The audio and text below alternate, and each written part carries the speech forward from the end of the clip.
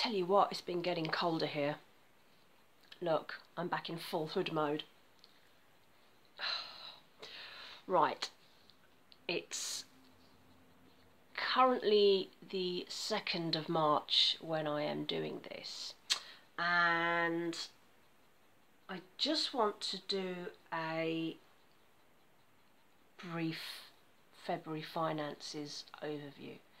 So let's get started. Okay, so where shall we start?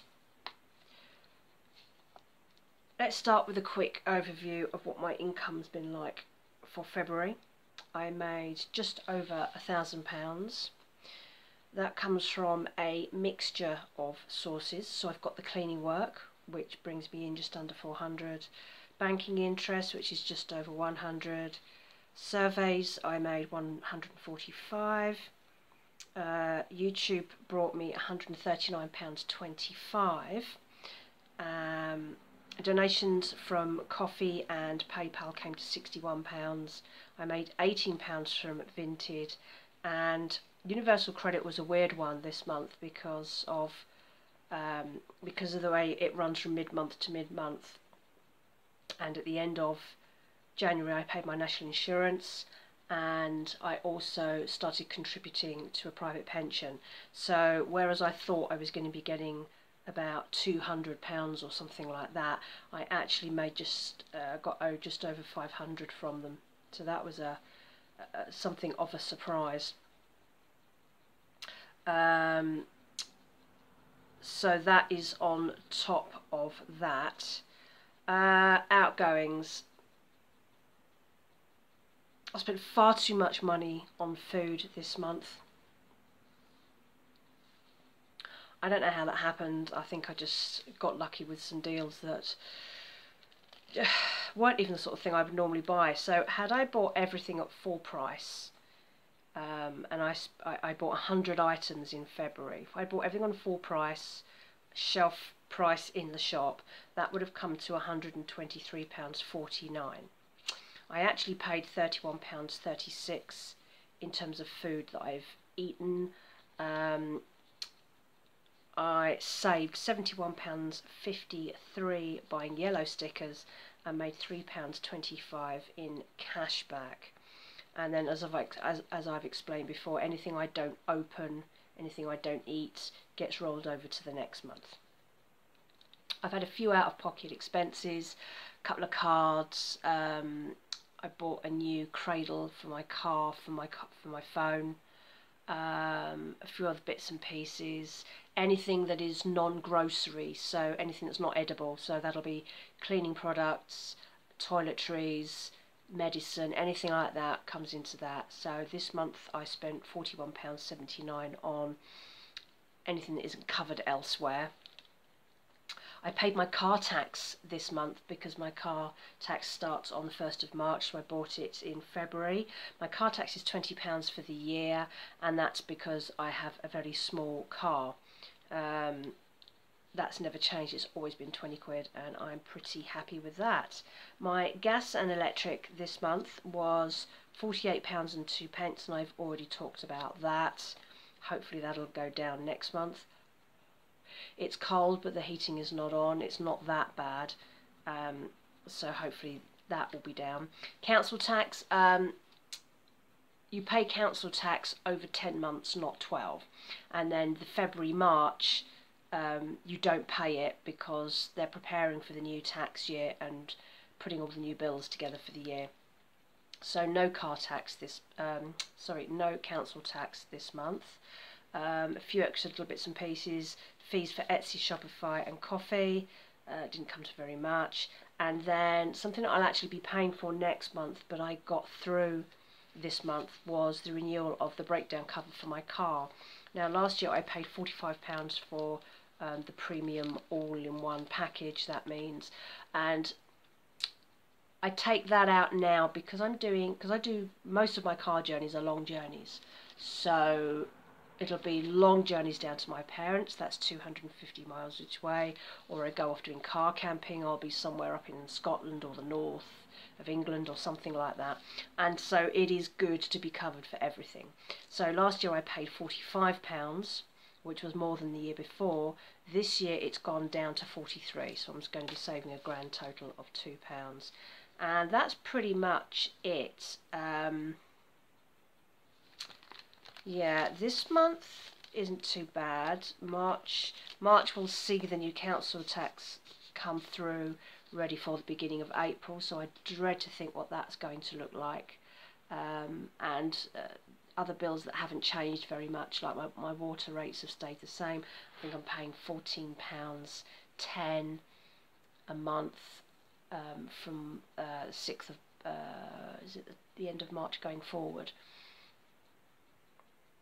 Um, rent, uh, as I've already discussed before, I pay once every six months as a six monthly amount, so I won't have to be paying that until April. Um, but it's not up for a renewal, so I know exactly what that's going to be.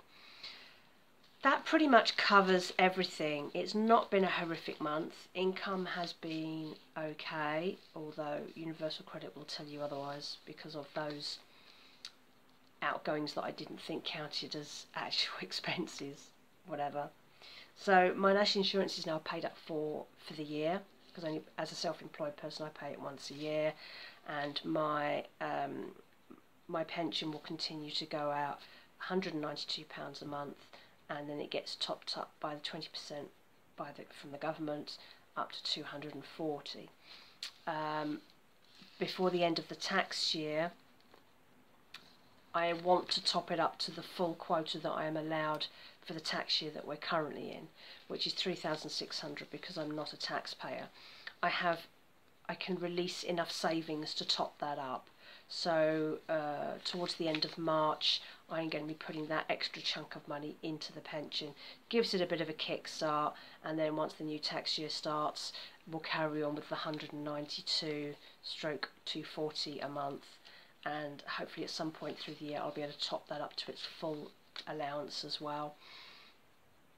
At the moment, that is everything. It's been a relatively quiet month. We're ticking along.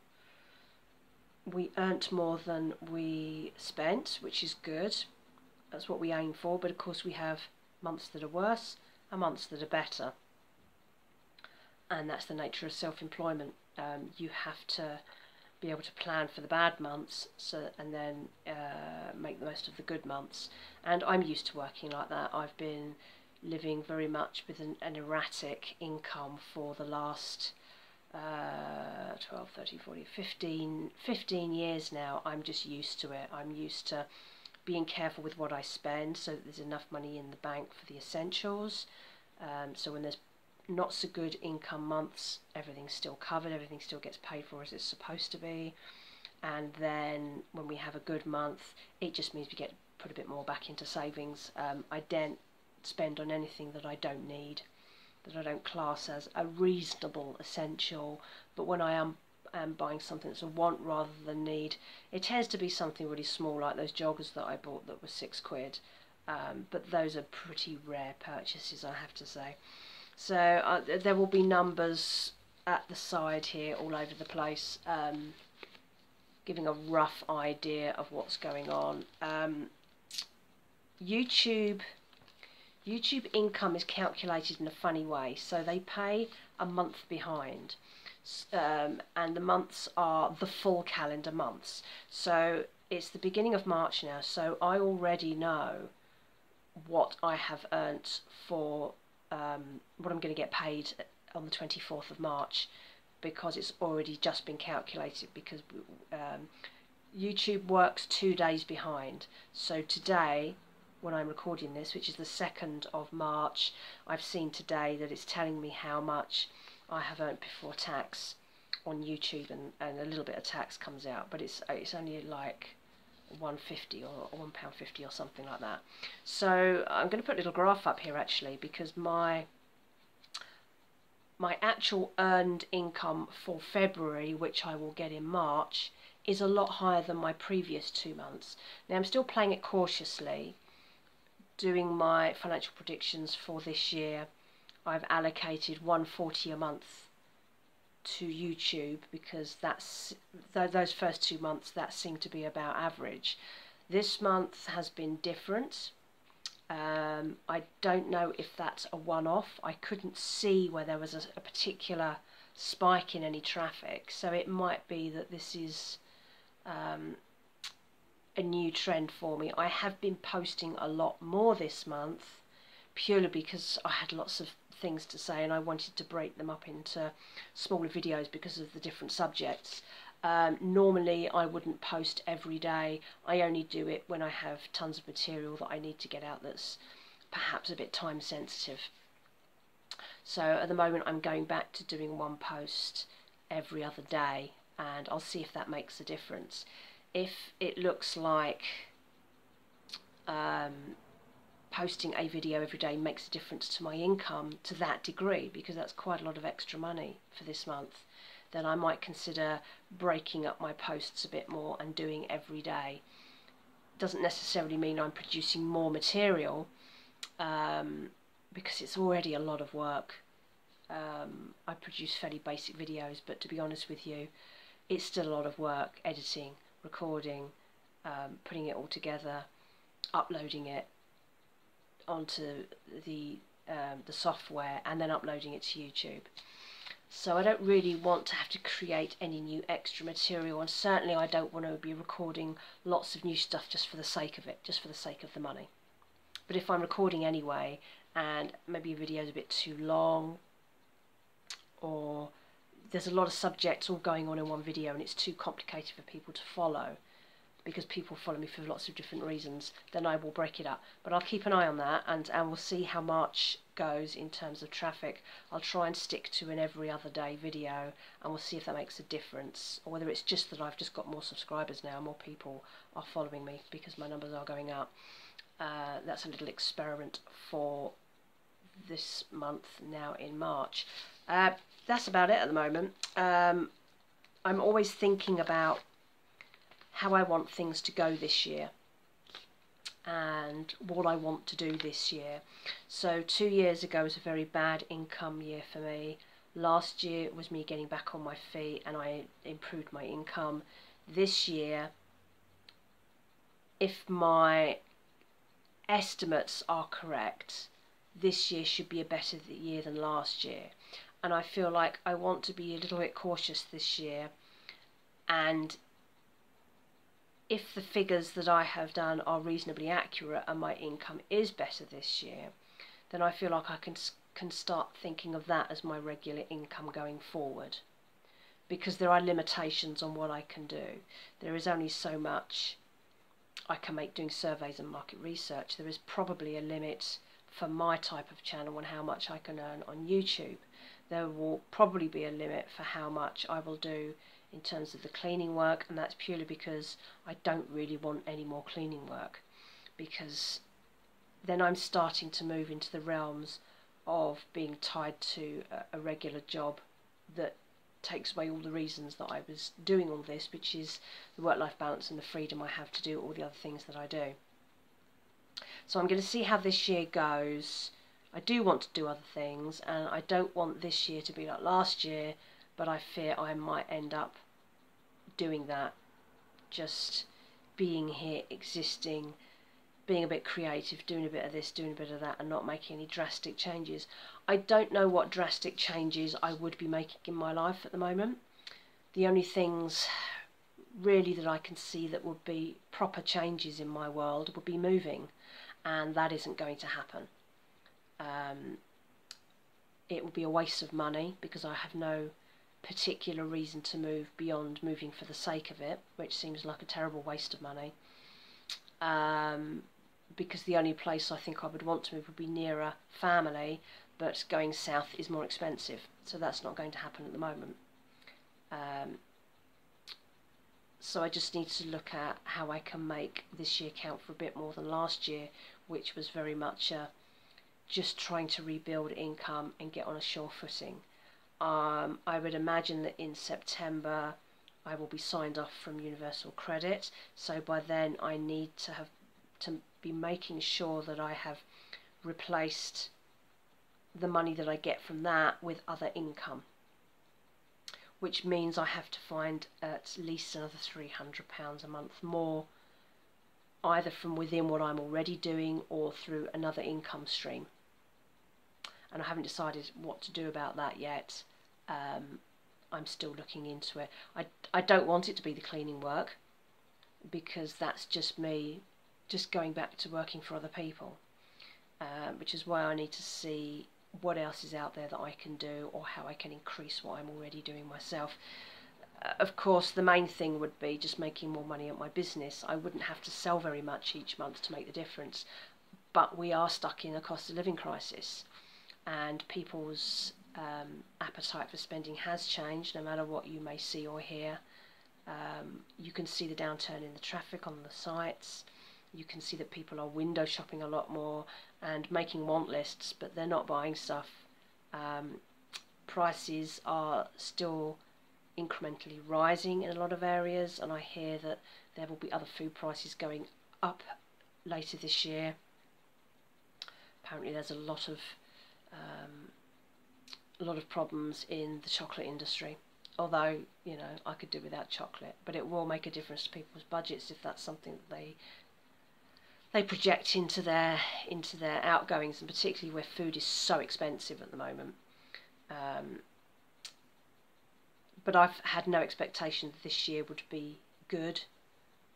I am expecting it to be like this, like it is now, all the way through this year, and that there might be some improvements early next year. So I have no real expectation for making lots of money on the business this year. And because I am set up with lots of little side hustles and little bits and pieces going on, that means I don't have to worry about it. because the last thing I want to be doing is worrying about a business I can't change and stressing myself out and panicking about it because I've made that my only income my main income stream. It currently isn't my main income stream, so the extra money would be nice and I am going to be focusing more time on onto the advertising and marketing and the and the making of things as the weather improves and I get more creative again. At the moment, I'm still in that weird slight limbo. We're not quite in spring, and we've had a sudden drop in temperature, and I've kind of slowed down again quite a lot. So I'm just waiting for that improvement, which will probably come after I get back from my um, my March April visit to my parents. I think once I get back from there, we will be fully in spring then, and then it's going to be all systems go.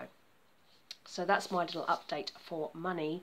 Um, it's not terribly exciting, um, but to be honest with you, my life isn't terribly exciting anyway. And I think for some of you, that's why you are here. It's called normal life. And um, we celebrate normal life here because most of us are doing it. There are very few of us with Insta lives.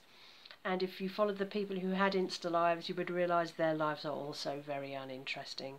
Um, it's it's all a big con. Anyway, so I'm going to leave you with that, and have a good week, and um, I shall speak to you again very soon, no doubt. Bye bye.